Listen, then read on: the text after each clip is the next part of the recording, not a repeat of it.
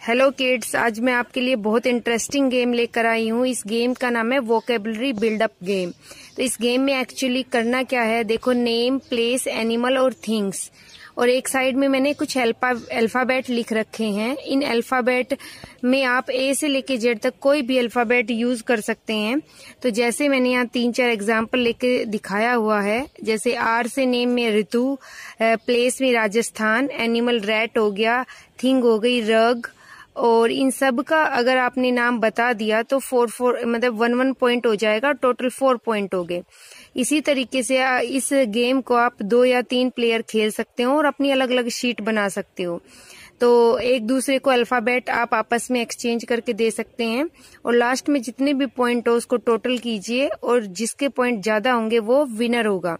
तो मैं ये गेम आरव के साथ आपको लास्ट वाला मैंने चार खुद बनाए हुए हैं। जी वाला मैं आरव से एक बार करके दिखाती हूँ कि किस तरीके से ये गेम होता है। गीता हाँ। जी। हम्म। फिर फिर? Double E T A. Double E T A Geeta. Very good. Place जगह का नाम कोई जी से? गुड़गावा। हम्म, गुरुग्राम। लिखो जी यू आर। और लास्ट में जो जी से है, उसके आरंभ ने किया हुआ है। जी से गीता नाम की जगह उन्होंने गीता लिखा और प्लेस की जगह उन्होंने गुरुग्राम, एनिमल की जगह गोट लिखा। लेकिन थिंग्स उनको याद नहीं आया तो इसलिए यहाँ पे उन्होंने अपने आप को थ्री पॉइंट्स दे गए तो इस तरीके से इस गेम को आपको खेलना है। अगर कोई एक जो नहीं बता पाया, उसका एक जो है पॉइंट डिडक्ट हो जाएगा। तो होपफुली ये गेम आपको पसंद आया होगा। अब देखते हैं गेम नंबर टू में क्या होता है। तो सेकंड गेम है हमारा।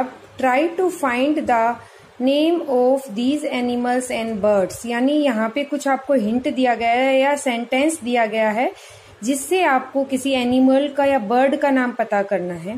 देखो, इसको मैं देखती हूँ, ये मैंने सोल्व करके लिख रखा है, लेकिन आप, मैं बताऊँगी अभी लास्ट में कि आपको कैसे और किस तरीके से इसको ज़्यादा इंटरेस्टिंग बना सकते हो।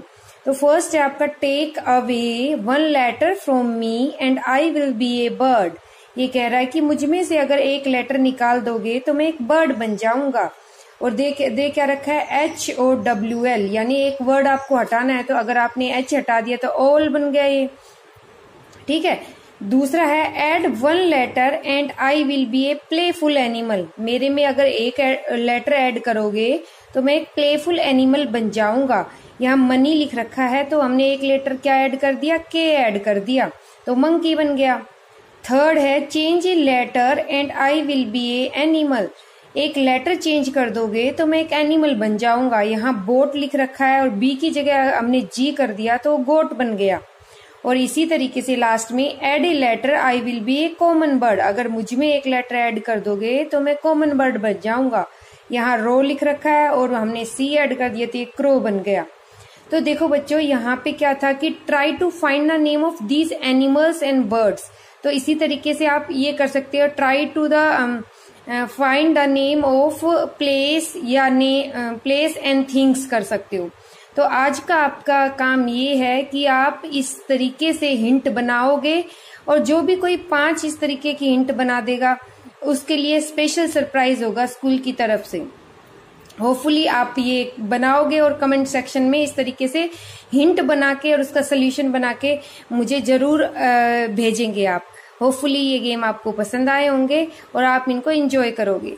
Thank you have a nice day और ज़्यादा जो है नए नए गेम देखने के लिए चैनल को सब्सक्राइब कीजिए। Thank you